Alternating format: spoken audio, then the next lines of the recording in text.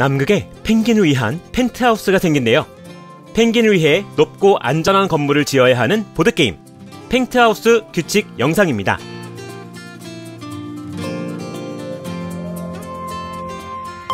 게임 구성물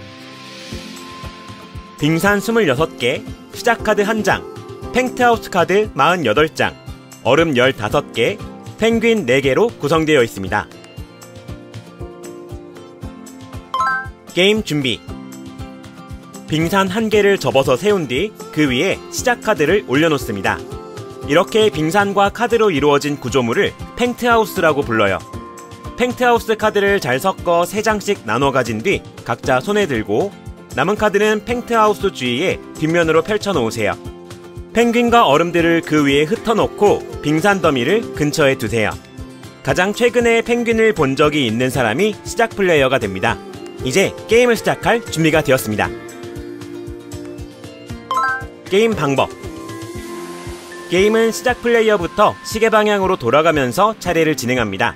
자기 차례는 3단계로 이루어집니다.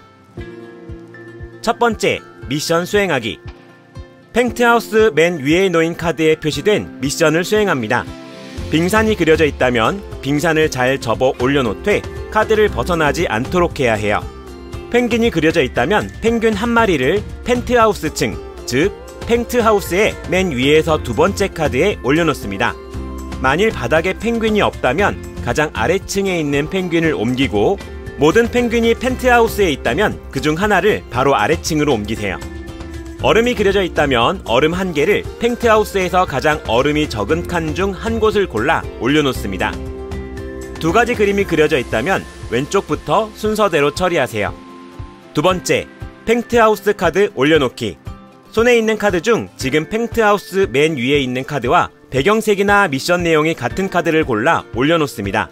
만일 그런 카드가 없다면 손에 있는 카드를 모두 보여준 뒤 아무 카드 한 장을 골라서 올려놓으세요. 세 번째, 카드 뽑기.